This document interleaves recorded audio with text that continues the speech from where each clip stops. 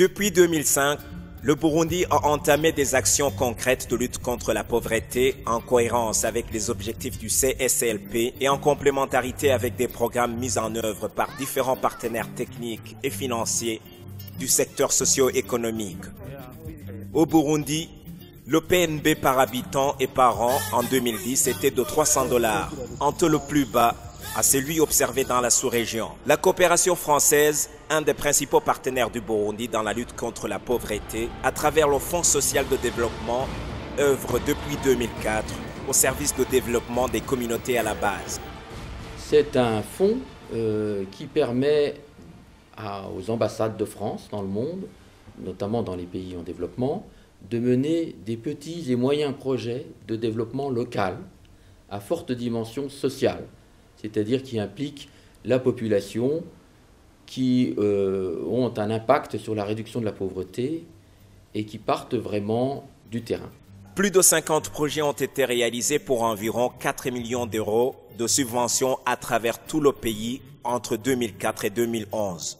Manila Kizaferkura de la Confédération des associations des producteurs agricoles pour le développement de la province Chibitoke, à l'ouest du pays, relate sa vie qui a basculé après que son association ait reçu un financement auprès du Fonds social de développement.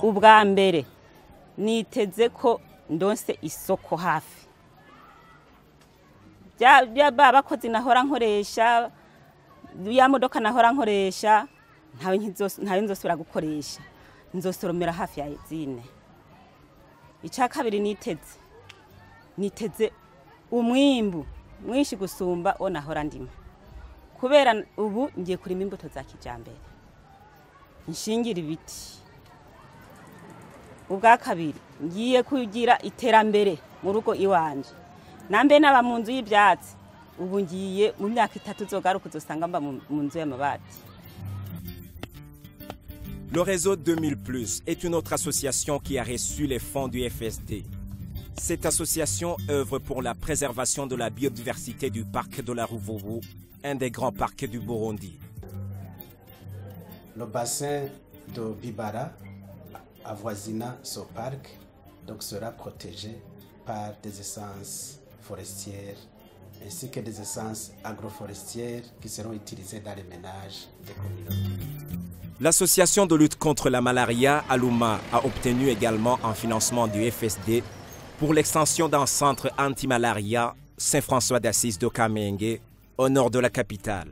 Quand je vois les 30 000 patients que nous recevons chaque année, c'est une grande contribution de l'ambassade de France à la sauvegarde de la santé des gens.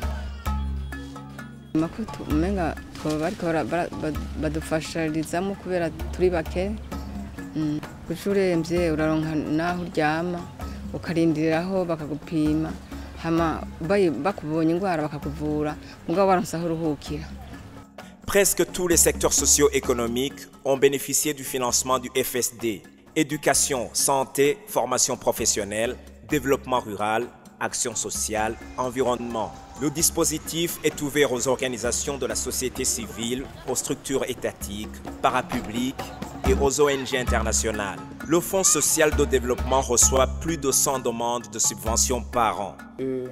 Les financements que nous avons reçus, comme dans notre but de- du centre, c'est pour créer un cadre de rencontres, d'échanges, de dialogues et de connaissances mutuelles entre les jeunes.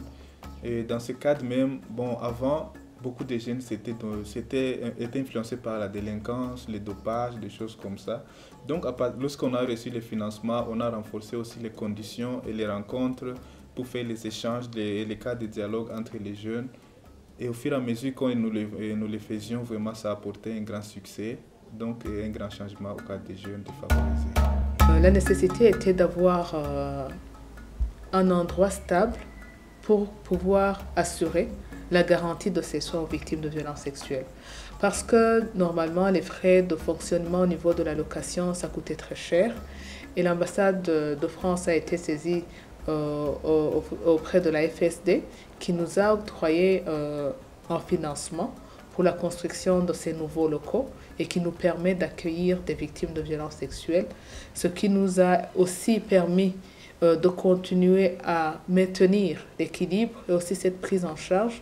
Et Par an, on, peut, on arrive à accueillir à plus de 1500 nouvelles, nouvelles victimes qui arrivent au centre.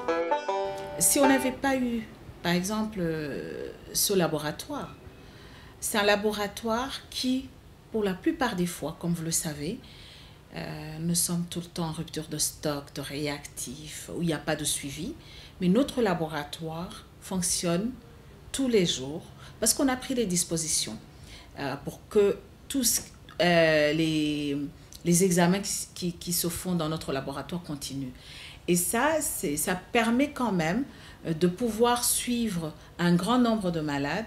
Je dois avouer, ce n'est pas tout le monde parce qu'on n'a pas la capacité euh, de prendre en charge tous les malades du sida au Burundi, mais au moins les malades qui sont suivis par la NSS et par les structures partenaires trouvent quand même un bon suivi grâce à ce laboratoire. Euh, je dois dire que le centre de formation, c'est un centre de formation qui, euh, qui aide beaucoup, qui permet à ce que même les groupes les plus vulnérables euh, je, moi, je le dis toujours, hein, les groupes comme les homosexuels qui ne se sentent pas à l'aise dans d'autres structures, quand ils veulent apprendre ce qui est de la prévention au VIH, ce qui est de la prise en charge, c'est le seul centre de formation qui peuvent aller et euh, sans se soucier de comment on va les regarder, de préjugés des jugements. À la fois financière et accompagnatrice, la coopération française est considérée comme un partenaire stratégique dans le développement. je dois vous dire que depuis 2004 jusqu'à maintenant, il y a eu à peu près 4 millions d'euros qui ont été euh, mis en contribution par au, service justement de ces organisations pour, pour, pour, pour le financement des, petits projets et qui des projets, un projet en moyenne est autour de 65 000 euros.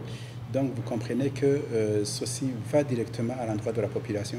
Pour nous, nous disons que l'OFSD doit continuer parce qu'il rend service à la population burundaise et en particulier euh, qui intervient juste à l'intérieur même de, la, des coins les plus reculés du pays pour que ce soit vraiment au bénéfice, au bénéfice de la population. Pour le terme que j'aime beaucoup utiliser, l'OFSD travaille dans, dans un esprit de collaboration dans un esprit fraternel où la population est vraiment bénéficiaire et acteur aussi dans le cadre son, de son développement. C'est une façon vraiment de permettre que les messages, les effets, quelques petits acteurs du développement arrivent au fin fond de nos campagnes. Parce qu'actuellement, il y a une tendance dans le passé où toutes les activités, où toutes... Euh, les, programmes, il y avait tendance se concentrent ici dans la ville de. En défi, les besoins sont toujours très nombreux pour que les associations qui mènent ces activités soient autonomes. Pour cela, des interventions financières restent toujours nécessaires pour qu'elles soient en pont de liaison pour atteindre leur vision.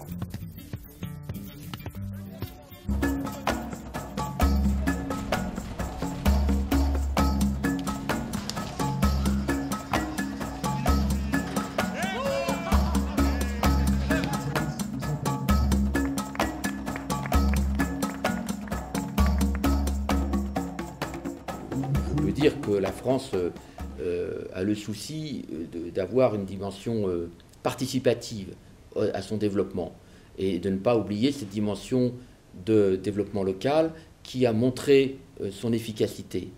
je ne peux évidemment pas promettre sur le, moyen et long terme que, que l'ambassade de France au Burundi disposera toujours de cet outil.